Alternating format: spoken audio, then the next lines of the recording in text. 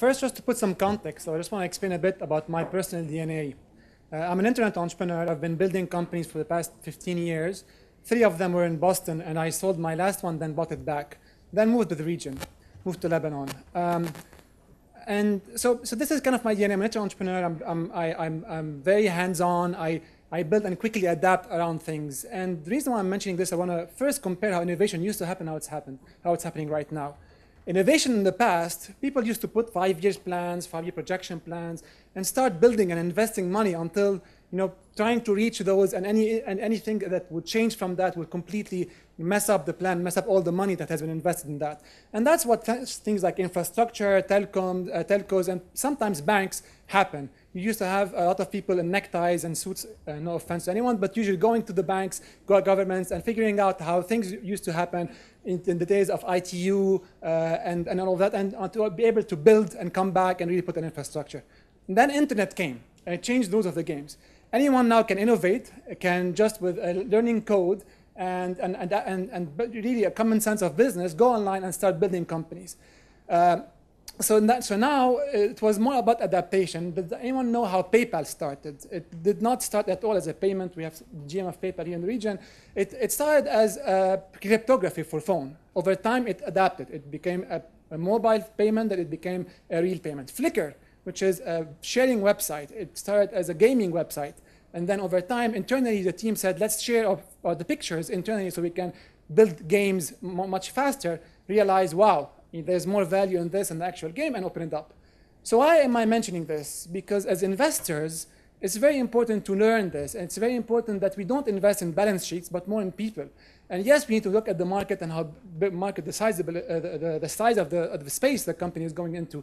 But more importantly is the, the, the, the team and their ability to adapt and execute and really be very agile uh, to, the, to the factors. You know, it's much more important to have a compass than a map. A map costs a lot of money. A compass, you can nav navigate the, the, the, difficulties much faster.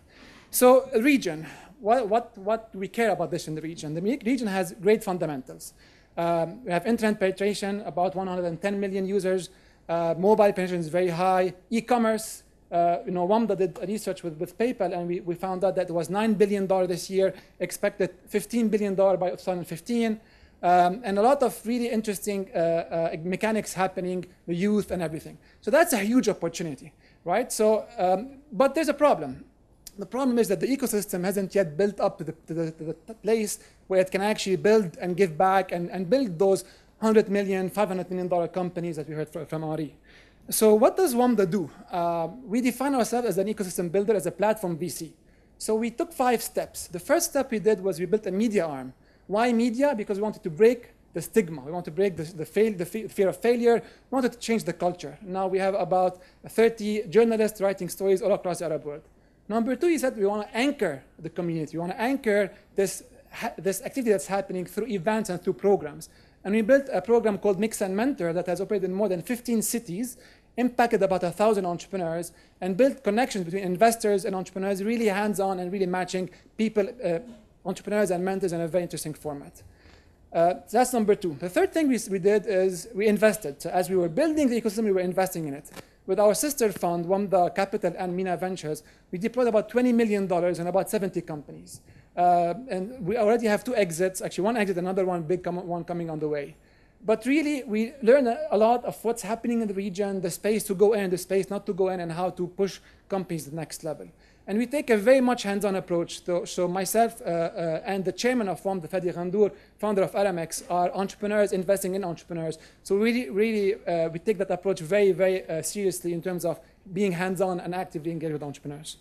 Um, the, the fourth thing we did is we actually started an advisory arm. And really the advisory arm was mostly to engage the private sector into giving back into uh, entrepreneurs. Now that's a, a, big problem. Today you have telcos, uh, banks, logistics company, all of those are actually at fault at many of the Arab Spring that we talk about and any of the potential deadlocks of the, the, the economy in the Arab world.